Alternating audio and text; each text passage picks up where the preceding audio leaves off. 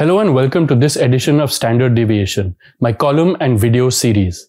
I'm TCA Sharad Raghavan, Deputy Editor at The Print, and I'm going to be speaking to you about how the Modi government is increasingly taking on criticism from international agencies in a strong, well argued way, and how this is thanks to a particular team of people that it has created. Now, governments have to walk a tightrope between mounting legitimate defenses against criticism and appearing too defensive and thin skinned. Unfortunately, until recently, the Narendra Modi government has come across as leaning too far on the defensive side, taking snap decisions and issuing poorly thought out statements. That is changing now, at least when it comes to addressing international criticism over its financial policies. The government's recent defenses have been increasingly reasoned and data based.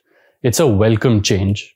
Global perceptions of the Indian economy are often based on what international agencies like the IMF and credit rating agencies such as S&P Global and Moody's have to say. Not too long ago, any negative assessments from such agencies were met with weak responses by the Indian government and would be based more on rhetoric rather than actual data or reasoned arguments. There has been a gradual transformation in this approach and much of it has to do with the officials chosen to lead the central bank and the economic research agencies of the government. Two recent examples of Indian authorities standing up for themselves come to mind. The first is when the RBI and the central government responded to the IMF's assessment that the central bank had been over-regulating the exchange rate. The second example is the deeply researched analysis by the Office of the Chief Economic Advisor pointing out the weaknesses of the analysis done by the credit rating agencies. Now, take a look at the key players involved from the India side. The RBI's response to the IMF would have been vetted by Governor Shaktikanta Das, who used to be the Economic Affairs Secretary in the Ministry of Finance. The government side was put forth by the current Chief Economic Advisor, V. Anantha Nageswaran, who's a highly data-oriented analyst and executive director in the IMF, KV Subramanian, who was also a chief economic advisor in the past. Add to this the caliber of the current finance secretary, TV Somanathan, who is the top bureaucrat in the finance ministry, and the increasingly technically savvy officials in the office of the prime minister. Between them, they have years of experience in setting government economic policy, comfort with data and its analysis, and a drive to portray India in the best possible light. This combination shows itself in the kind of discussions that are now taking place on India's financial policy. The IMF in mid December released the 2023 edition of its annual Article 4 report on the Indian economy. It's a detailed assessment based on the IMF staff's visits to India, their discussions with senior officials in the Ministry of Finance and the RBI, and including their own data and calculations. Most of the analysis received very little comment. However, one change created quite an uproar in India's financial policy circles. The classification of India's exchange rate regime was revised from the relatively free floating designation to what is called a stabilized arrangement. Now, these are just technical terms to designate countries based on how much they control their exchange rates. Under a floating regime, a country exerts minimal control over its exchange rate, only intervening to stabilize unnatural volatility. Shifting India from this category to a stabilized arrangement means that the IMF feels the RBI had been exerting too much control over its exchange rate in the recent past. See, in general, the more open an economy, the more free its exchange rate. The flip side to this is that if a country's exchange rate is deemed to be more controlled, then its economy is also seen as being more under the influence of government regulation. The IMF said that over the last 7 to 8 months, the rupee's exchange rate had moved within a narrow 2% range. That is, it never went more than 2% up or 2% down. The RBI did not take this assessment lying down. First, it strongly disagreed with the notion that its exchange rate interventions were more than those necessary to curb unnatural volatility. It pointed out, quite legitimately, that the IMF's assessment covered only 7 to 8 months, An analysis of a longer period of say two and a half years would show this assessment was wrong, it said.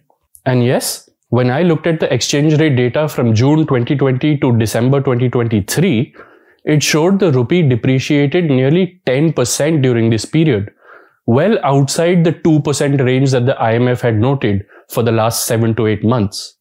The RBI also argued that the recent stability of India's exchange rate reflects the improving strength of the country's macroeconomic fundamentals, especially external facing ones like a reduction in the current account deficit, a revival of foreign funds coming into the country, and a comfortable foreign exchange reserve buffer. This was bolstered by a sub report by KV Subramanian, which was also included in the main report, which made the same arguments in greater detail. Now, these are data based facts. While it can't unequivocally be said that it's exclusively these factors that have been responsible for a stable rupee, their impact is still significant. Placing them on record in our defense shows that our authorities are thinking deeply about these issues and have moved away from a knee jerk response in this case. Now, let's come to the CEA's paper on the credit rating agencies.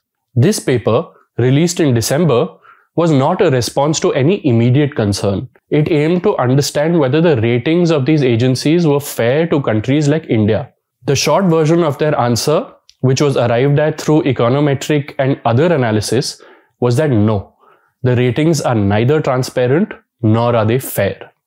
The paper first examined the methodologies employed by the three biggest international ratings agencies, Fitch, Moody's, and S&P. What it found was that the processes were different and non-transparent for all three, with very little being made public about how the ratings are calculated. The paper then makes the reasonable argument that if one of the factors that determines a country's credit rating is that its data should be transparent, then this transparency should also extend to how the ratings are calculated. The analysis then goes on to show how more than half of the publicly available factors that determine a country's rating were qualitative rather than quantitative. They were based on the opinions and perceptions of a relatively small group of experts rather than more extensive surveys.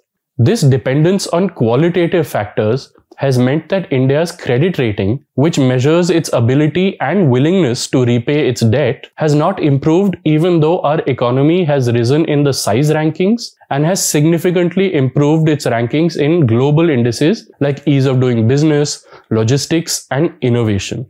Basically, the paper argued that macroeconomic performance has no impact on the credit rating, which to me makes no sense. Finally, Another reasonable argument the paper makes is that the measure of a country's willingness to pay must be influenced by its past record.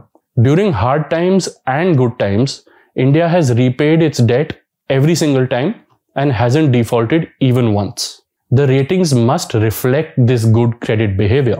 This makes absolute sense. For individuals, repayment behavior has a large bearing on their credit scores. The same should hold true for countries.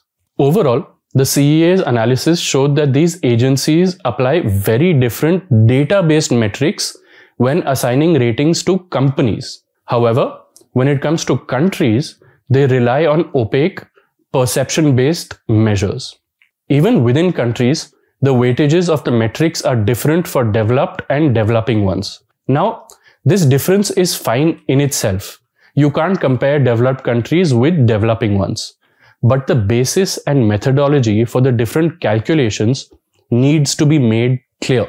Although the chief economic advisor was not writing this paper as a direct response to the rating agencies, it is publicly available and I hope that they read it. The credibility of their work depends on whether they are considered fair in their appraisals. India is now a big player in the international economic field. As a result, we will attract a lot of attention and analysis. It's a necessary feature of government policy to engage with criticism and balance legitimate defense against defensiveness. If the government keeps up with this new approach, this might even become part of the stated job descriptions of senior government officials. On that note, that's all from me. Thank you for watching.